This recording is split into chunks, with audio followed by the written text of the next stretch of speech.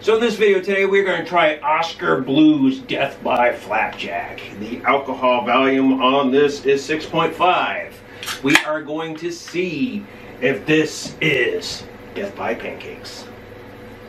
Looks pretty good. Looks nice and dark. Stir that up, bad boy. Get all the flavors all mixed in there. Let's see. Does this smell like pancakes? I can smell the maple syrup. Pancakes, I'm not sure, but let's see. Is this Death by Pancakes or not?